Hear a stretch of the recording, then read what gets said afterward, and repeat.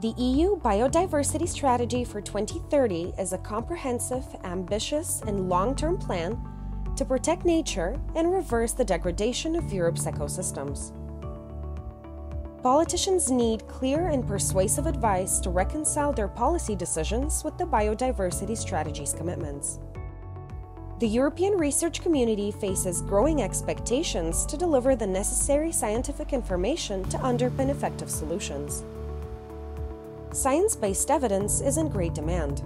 Despite the remarkable results of European scientists, matching scientific results with policymakers' needs remains a challenge. Science, policy, and society need to work closely together to transform good science into good decisions. The Science Service for Biodiversity aims to facilitate this interaction. The European Commission has tasked the BioAgora project with creating the Science Service for Biodiversity. In the next five years, BioAgora will develop the Science Service for Biodiversity with inclusive governance and a feasible business model, promote cooperation and co learning among researchers, policymakers, and practitioners contributing to biodiversity protection. Position the Science Service for Biodiversity as the scientific pillar of the EU Knowledge Centre for Biodiversity. The Science Service for Biodiversity will help formulate customized advice for current and emerging policy needs based on a synthesis of real life examples, demonstration cases, and scientific evidence.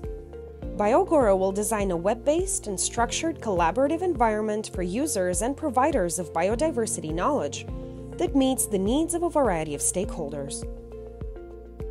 To ensure the diversity of expertise across the continent, the project team includes 22 organizations from 13 countries and a number of long standing European initiatives such as ALTER-Net, Oppla, and EKLIPSE a gathering place of ideas and services, Anagora is a vital space for dialogue in the community. The BioAgora project unites the wealth of knowledge from research organizations, civil society, public authorities, and private businesses with the sole purpose of advancing more effective decision making for biodiversity. Finally, an alliance between science, policy, and society will greatly advance the sustainability transformation in the EU.